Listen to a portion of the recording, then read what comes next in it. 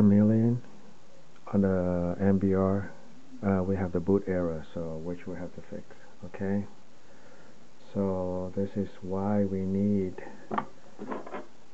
to have our uh, external USB with um, Maverick installed already so we can use it to fix this problem. After uh, install Chameleon into um, our Maverick partition uh, we have boot zero error. Um, this is how it's going to fix it. We booted into uh, the external uh, hard drive the USB that we created as I recommended.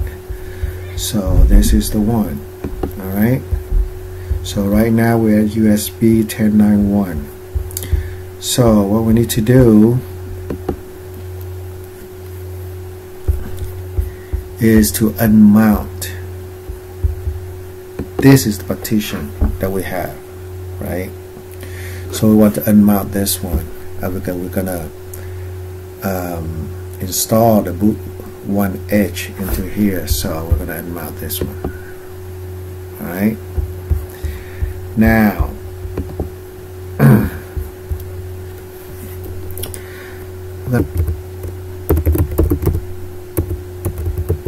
list. So what do we have? Right now we will have um,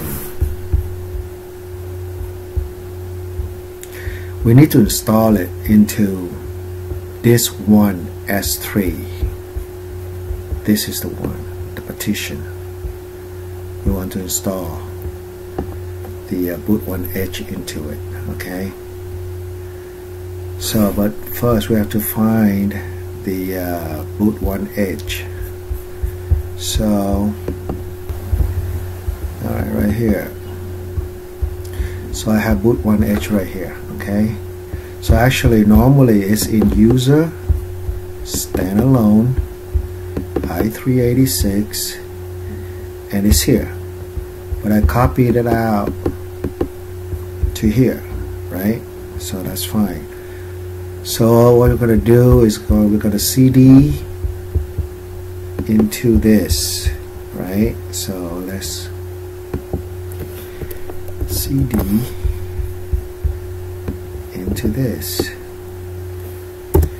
Alright so ls ls not sl so we see that boot1h is there. So the command is this sudo dd equal root 1H of dev disk 1 s3 is it correct? Yep there it is.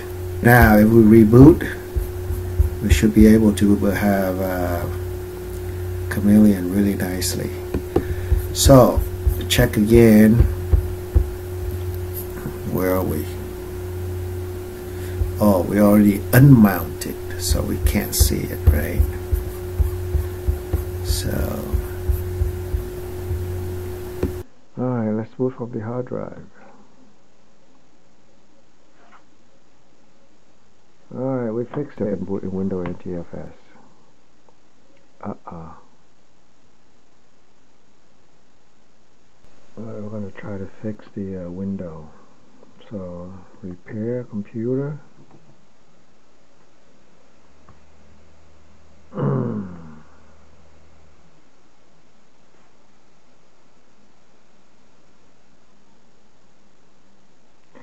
so, we need to use command.com.